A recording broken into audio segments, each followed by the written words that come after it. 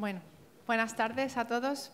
Para mí es un placer poder estar aquí y poder compartir un poquito de lo que he ido aprendiendo en Oxígeme a lo largo de unos cuantos años ya que llevo en, eh, este proceso de conocimiento personal y científico, por otra parte. Em, dentro del proceso Oxígeme, uno de los aspectos que se trabaja con los pacientes es la meditación.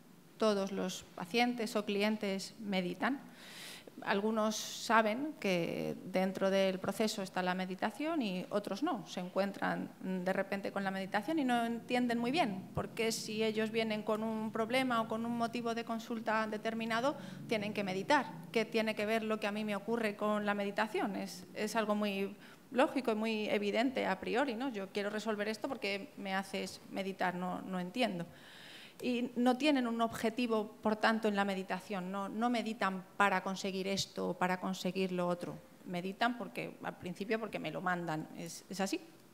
Y lo que se pretende desde, la terapia es una toma de conciencia, una, una, atención en el momento presente, como ya se ha descrito, ¿no? todo lo que forma parte de la definición de la meditación mindfulness, estar atento en el momento presente, sin juicio, sin crítica, sin culpa, simplemente estar en el silencio, en la observación, observarme qué hago yo cuando estoy en silencio, simplemente tomar conciencia.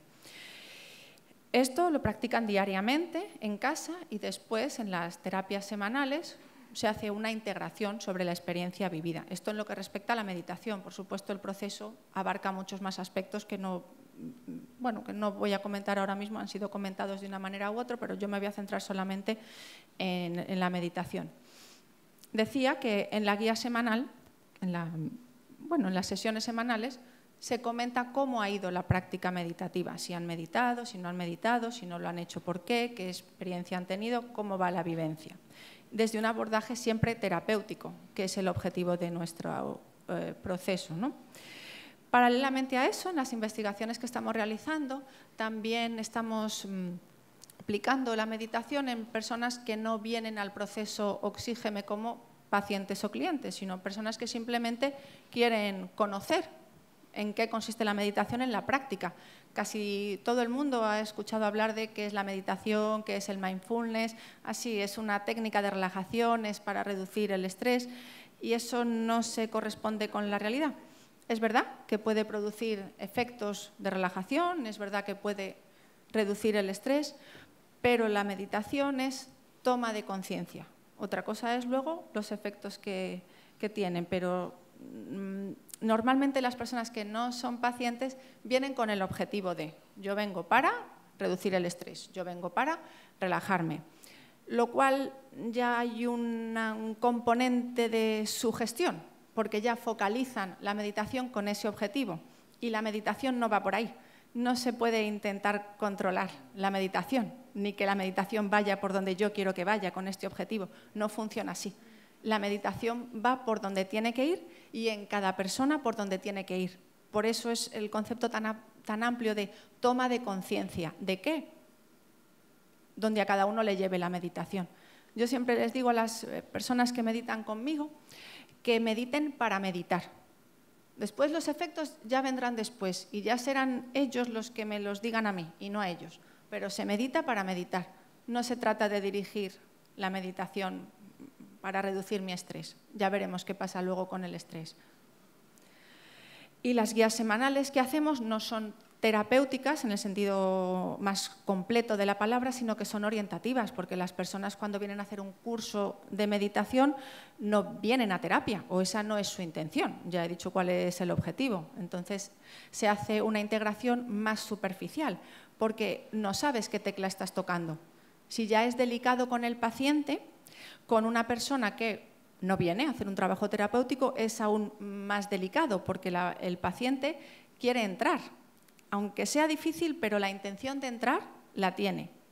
Pero una persona que viene a un curso porque sí, no tiene por qué querer entrar. Siempre hay que llamar a la puerta y aunque te abran hay que tener mucho cuidado, porque lo que emerge de la meditación, ya se ha comentado también, puede ser tan potente y tan desconcertante para la persona que le puede producir una disociación cuando no comprende nada de lo que le está ocurriendo. Eh, de hecho, hay personas que refieren un empeoramiento. Empiezan con la práctica meditativa y cuando llevan unas pocas sesiones abandonan porque dicen que están peor. No es tanto que estén peor, sino que están tomando conciencia de lo que les ocurre que de otra manera no habían tenido oportunidad de tomar conciencia. La meditación te pone un espejo delante en la medida en la que tú permitas que ese espejo se ponga delante y te permite ver. Eso no siempre es agradable, ni mucho menos. Pero sí te permite tener la oportunidad de decidir y de tomar alguna decisión con respecto a eso que estás vivenciando. Yo he visto esto, ahora, ¿qué hago? Decido que no es el momento, lo aparco y no entro ahí, es mi decisión. Decido que me adentro, investigo, profundizo y adelante con donde a esto que me ha ocurrido me pueda llevar, pero para eso es preciso tener en cuenta la primera premisa que he descrito de la meditación, que es tomar conciencia de. Hasta que yo no tomo conciencia, no hay nada que hacer. Por eso comento que hay abandono del paciente en el proceso terapéutico, porque esta transformación es muy profunda. Nosotros no somos em, una psicología para todo tipo de pacientes o clientes, no es así. Las personas que vienen a nosotros son personas que buscan una verdadera transformación profunda y a largo plazo. A largo plazo es toda la vida y, el proceso de muerte también es el largo plazo. No funcionamos para alguien que quiera una herramienta de cambio para este problema concreto, para este suceso específico. No, no somos los terapeutas adecuados, somos los adecuados para la persona que diga, yo hasta aquí he llegado y quiero cambiar mi vida. Entonces, sí.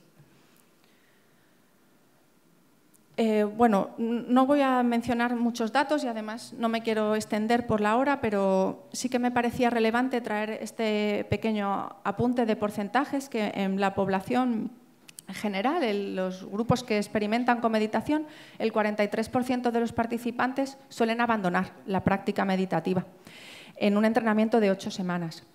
Y de esas personas, el 62% abandonan tras la primera sesión y el 21% tras la segunda. Es decir, que casi el 85% abandonan tras la segunda sesión. Tiene que ver con esto, que vienen para relajarse y para eh, reducir el estrés y se encuentran con una toma de conciencia. Y entonces produce abandono. De hecho, en las últimas investigaciones que se están realizando, los investigadores eh, ya asignan al grupo que va a realizar la meditación el doble de participantes con respecto a un grupo que se llama control que no realizan la meditación, porque ya anticipan que van a tener un porcentaje de abandono muy elevado. Por tanto, hacemos la meditación para tomar conciencia, para darnos cuenta de los fractales, los, patrones, las pautas de conducta que se repiten una y otra vez, que no sabemos por qué. Es cuando tropiezas una y otra vez con la misma piedra y dices, pero ¿cómo es posible que me haya vuelto a pasar lo mismo? Otra vez el patrón programado del que ya se ha estado hablando, no voy a incidir. Meditamos para tomar conciencia del cuerpo, ¿no? Somos, nuestro cuerpo es depositario de lo que está ocurriendo en la mente. Entendemos la, la, psicología como que el cuerpo somatiza lo que nos ocurre mentalmente cuando no se resuelve.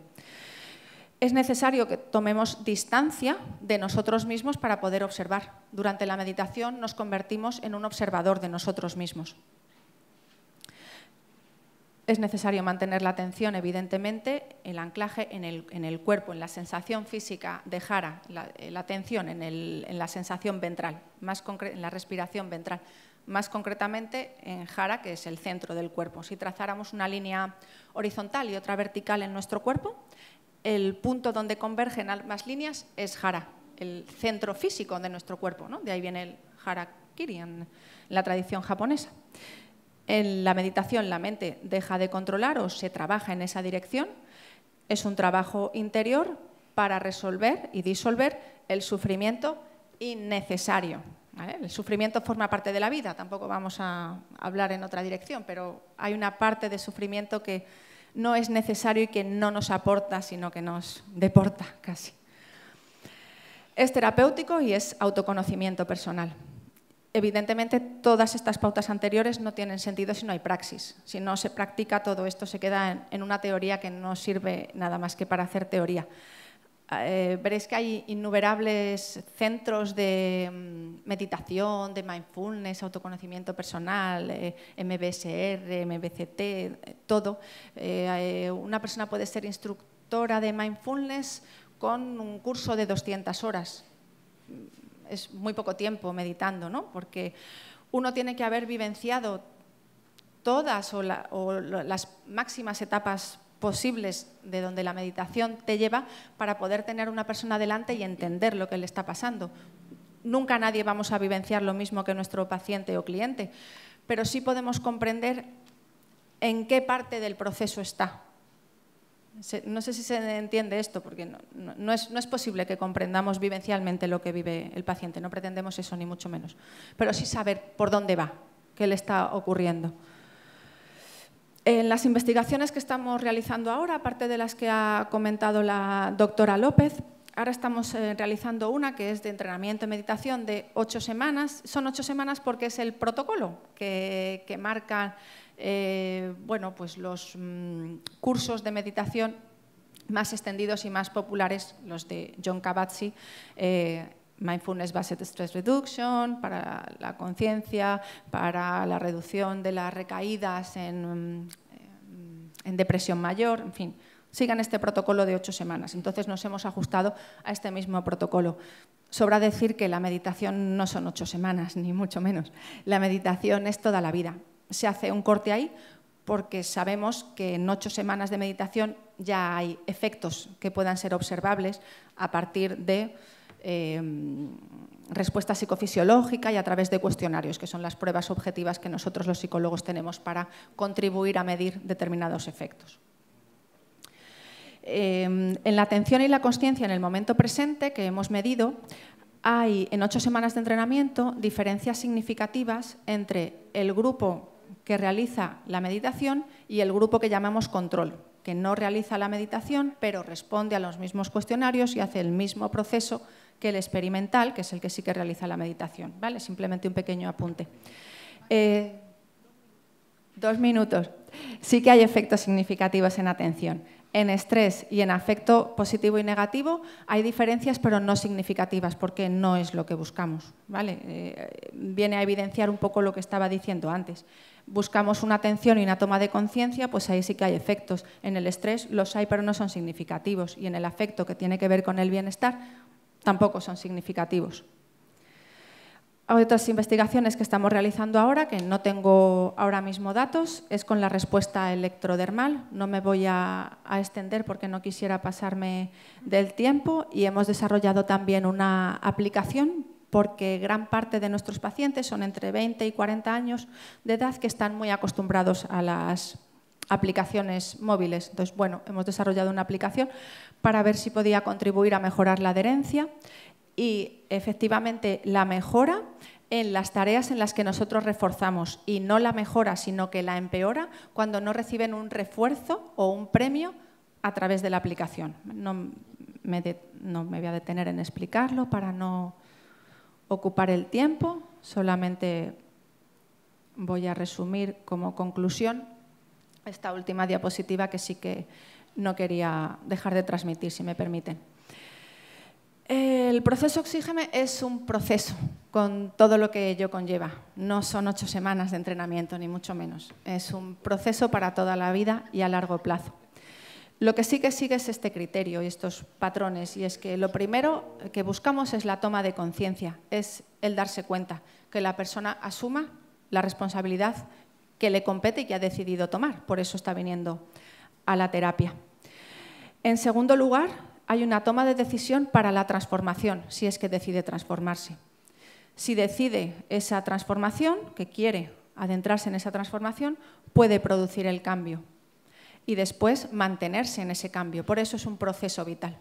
Si tuviera que resumir el proceso Oxígeme en una única frase, lo cual es imposible, pero sí que hay una que yo guardo con mucho cariño y que recuerdo siempre, una de las veces que Manuel habla y suelta frases como si no dijera nada y en cada una de las frases que dice hay filosofía, historia, alma y, amor y parece que no ha dicho nada, pues en una de esas frases él dijo una vez esto, que es en lo que yo resumo el proceso Oxígeme, que es, que es una terapia para llegar a ser quien eres. Nada más, gracias.